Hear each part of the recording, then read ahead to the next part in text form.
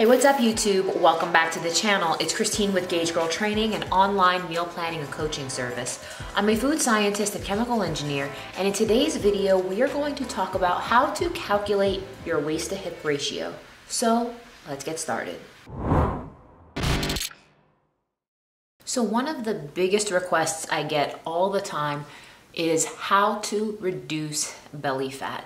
Now, abdominal obesity is crudely measured by the waist measurement, and it tends to be a sign of the accumulation of visceral fat. According to a 2013 study in the Archives of Medical Science, visceral fat is composed of biologically active fat cells that actually secrete hormones and inflammatory molecules.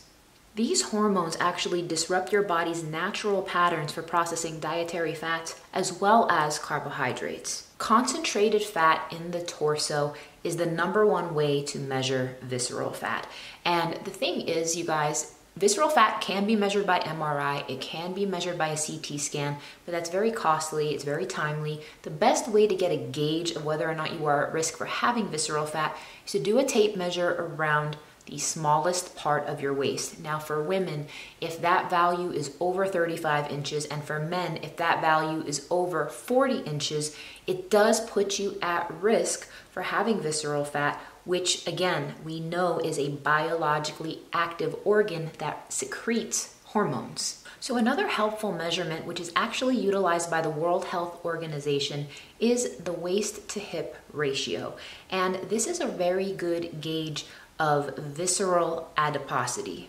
In order to calculate your waist to hip ratio, you want to take a tape measure around the smallest part of your waist. Now, this is going to be a little bit higher than the navel for most folks, but it's going to vary person to person depending on the length of your torso. So, you want to take a tape measure, measure the smallest part of your waist, and you want to divide that number by the largest part of your hips. Now, for a frame of reference, for anatomical WHR or waist to hip ratio, somebody like a Halle Berry has a waist to hip ratio of 0.7.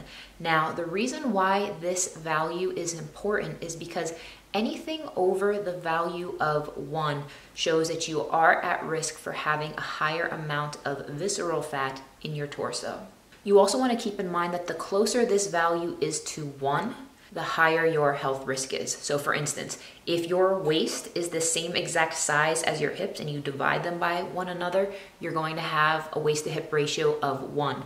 Now, in this chart here, you guys can clearly see, and this is outlined in more depth in my book where I explain it in my upcoming book, Unlock Your Macro Type. The health risk level is related to waist to hip ratios in men and women. And you can see here in this chart, which I have provided for you guys, you have a low health risk for women if your waist to hip ratio is under 0.8. For men, if that value is under 0.9, your health risk is moderate if you're between 0.8 and 0.85 for women. Moderate for men is 0.9 to 0.95.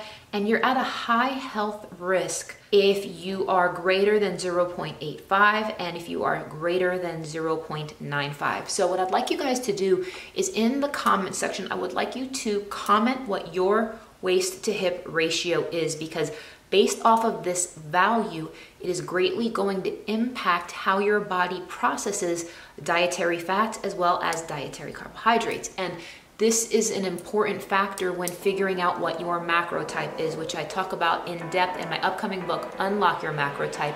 It is now available for pre-order. You can order it anywhere books are sold, Amazon, Target, Barnes & Noble. It's available in audiobook, ebook, and while supplies last, there is a free gift available for those who pre-order. So link below and don't forget to comment your waist to hip ratio. Thank you guys so much for watching and I will see you in the next one.